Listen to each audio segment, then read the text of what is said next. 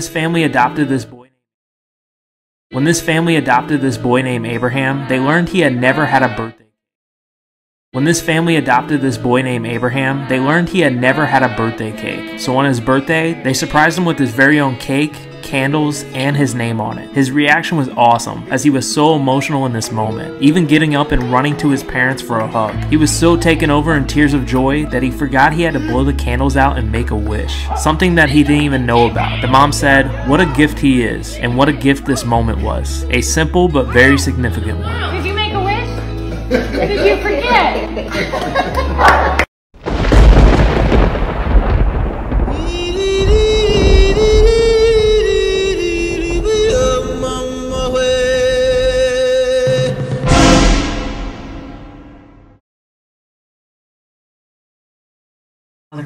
She had the perfect family.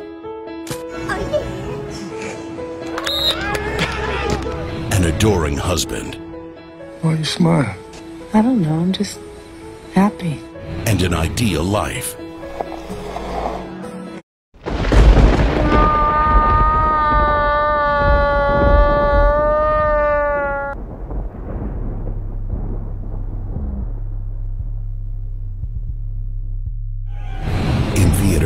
Never. The Dark Side. No, no, no, no, no, no. I'm not feeling this story at all. You know, on the surface, it's a feel good story, right? You, you see a young African boy, he's getting adopted, he finds his forever home, he lives happily ever after. That's some heartwarming shit, right? No, no. It's giving off white saviorism. Yeah, and a future problem for foundational black Americans let me explain and play devil's advocate real quick. So now here you got a 14, 15 year old little boy, right, from Africa, who's never had a birthday. Damn, Africa, the fuck is y'all doing? Y'all so busy having them tribal wars, y'all can't have birthdays? So that's 14, 15 missed birthday cakes, which is horrifying enough, but even more horrifying than that is that the first birthday cake this young man ever received is from white folk. I have a problem with that. So now this young man's going to associate everything good with white people. Birthdays, white people. Holidays, white people. Barbecues, white people. Summer vacations, white people. Functioning family units, white people. So now the same Muzungus responsible for destroying his homeland in the first place get to return 600 years later and play the white savior. No, no, no, no, no. I'm not feeling that. Now, if you are African and you are adopted by a family. Now, if you're African and you're adopted by a white family in America, it is more than likely that this young man has experienced a traumatic upbringing, all right? To not be with his biological parents, right? All right, possibly death, possibly disease, possibly tribal wars has removed him from his parents' care. All right, out here in Africa, you dealing with droughts, you dealing with malnutrition, starvation, uh, diseases we don't deal with over here. All right, you go to a river named the Ebola River, get bit by a bug, nigga, and you got Ebola. All right, mumps and measles will take you out over there. You're dealing with Muslim extremists. You're dealing with Boko Haram. You got 3,000 ethnic groups tribes and 2100 languages. So it's a shit show over there in Africa. So you got all of this going on, and now the only goodwill this African boy has ever received is from white folk. Right? Whether it's Doctors Without Borders bringing medicine over there and vaccines, or it's religious missionaries bringing in Jesus and books and schools, and don't forget birthday cakes. So now this young man is associating everything positive with white folk. Education, medicine, clothes, and food. And this is a foundational black American's worst nightmare because this is 100% 50 50 an African and Mzungu creation. Foundational black Americans have nothing to do with the upbringing, the rearing, or the traumas that this young man has experienced, right? This is 100% 50 50 African and Mzungu. So now you have this little African boy fleeing certain death probably an orphan, maybe never even met his parents, right? Comes to America. Yeah, coming to America part three. He isn't socialized around foundational black Americans and he has no cultural ties to foundational black Americans. Then this young man gets adopted by a white family of means. So now he's socially leapfrogged foundational black Americans with the help of his white savior family. So now he's gone from rags to riches, from one extreme to another, from complete poverty and living in a hut and eating mud pies, and now he is possibly upper middle class or wealthy overnight. That's like hitting the lottery. So that further separates him from the foundational black American experience.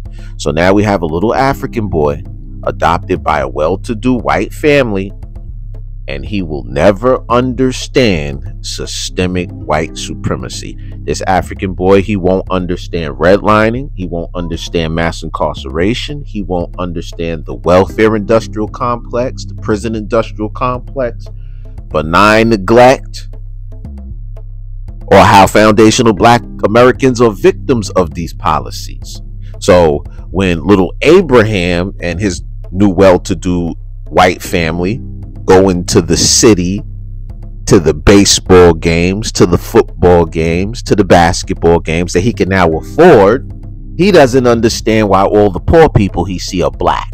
All the winos are black, all the bums are black, all the crackheads are black, all the homeless are black, all the streetwalkers are black.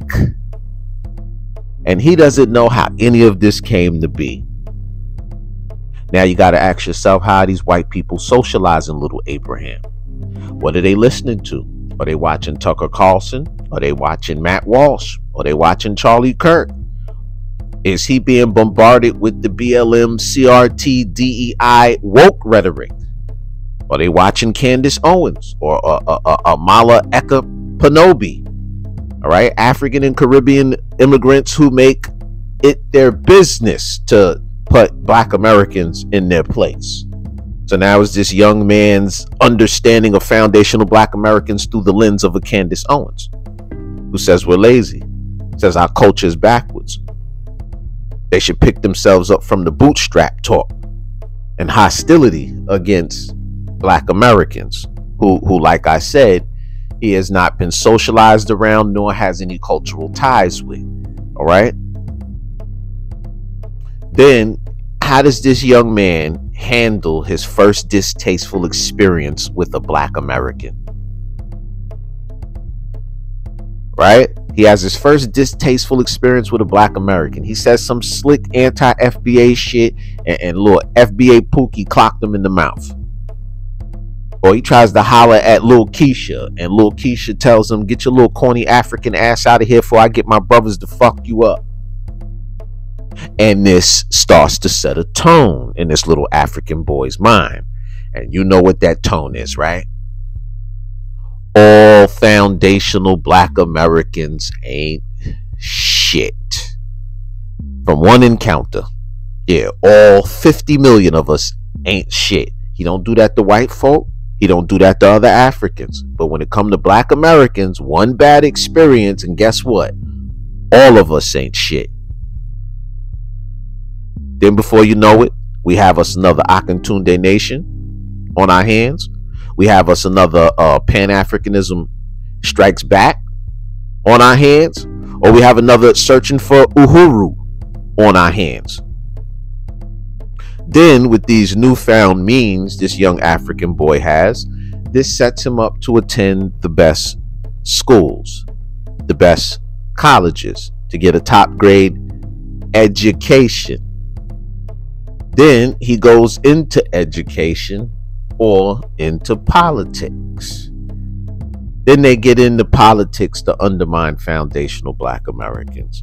or they become the next bootlit conservative pundit that starts saying shit like we need to get rid of Black History Month, like Austin Chenge in Michigan from Nigeria. Or they start campaigning against foundational black Americans to receive reparations. And I call that the African blind side.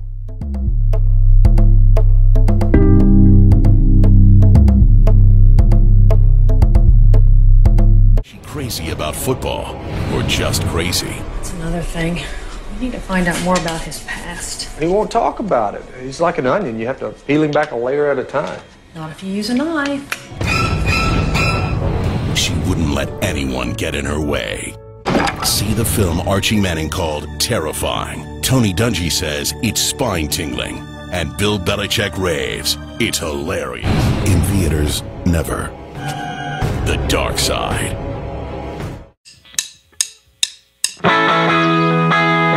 It's the only world she's ever known. Walking, shopping, tanning, and other rich white woman stuff. It's the only world he's ever known. Dark. Very, really dark. Cause he's blind. Who is that? It's Blind Mike. Mike? Yeah. Michael, do you have a place to stay tonight? Yeah, I live up the street. No, Mike, don't you lie to me. I'm not lying. You can see my house from here. You're gonna come with us. Is that okay? No, no, wait, How what? much is buckle up, Buttercup? Now, Mike, this is your new home. What do you mean new home? I have a home watch already. I step, told you. your- Come on. What are you Get- doing? just What are you doing? Go.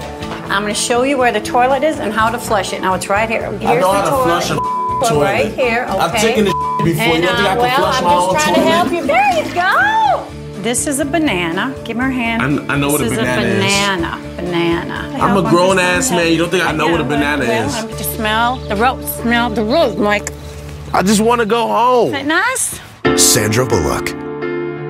Lionel Boyce. A story that will touch you hard. So hard. Now, Mike, you do play football, right? Bitch, I am blind. Bitch, I, bitch, I, bitch, I am blind. I- I don't don't play no back me- football. The Blind Side 2.